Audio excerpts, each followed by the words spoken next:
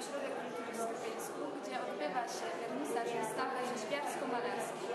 Wśród prezentowanych prac znalazły się także dzieła naszych lokalnych artystów, państwa Bogumiły i Ireneusza Caniwołów oraz Krzysztofa Bołka. Bardzo serdecznie wszystkich witam w Sylweńsku. Bardzo serdecznie witam władze gminy Gorz oraz władze gminy sąsiedniej Petrowicy. Jest nam bardzo miło, że możemy tę wystawę nazwać e, międzynarodową dzięki udziałowi artystów e, za miedzy, czyli za za rzeki Olbrzych. E, Wystawa ta tutaj jest już e, o trzecią wystawą, ponieważ to cały cykl on się zaczął w Tworkowie w gminie Krzyżanowice, gdzie przez dwa tygodnie można było podziwiać eksponaty.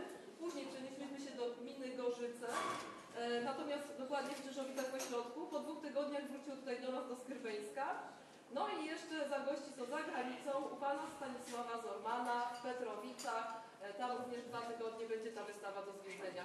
Zanim Państwa zaproszę jeszcze raz do obejrzenia, do degustacji i do rozmów w kuluarach, to chciałam przedstawić bohaterów dzisiejszego wieczoru. Czyli zacznijmy tutaj od Państwa z Krzyżanowic. To jest Pan Bernard i Pani Judyta Adamczyk.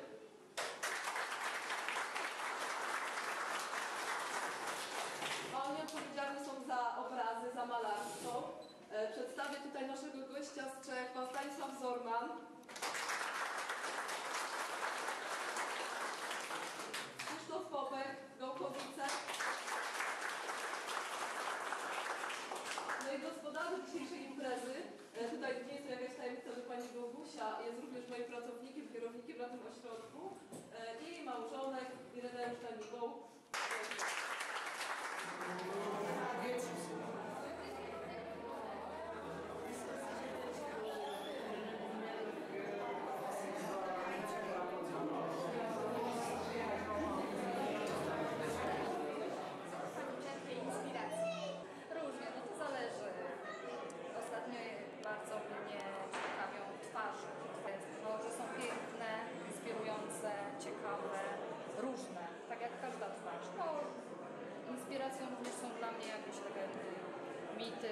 Przekazy.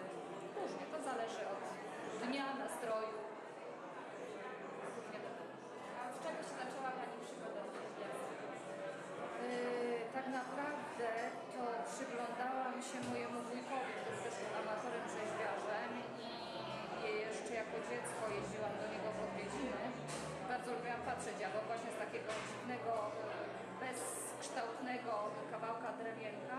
potrafi wystrugać coś fajnego. Bardzo mi się to podobało. I kiedyś zaprosiłam wujka właśnie do nas, do, do domu. Kupiliśmy dość dużą kłodę drzewa.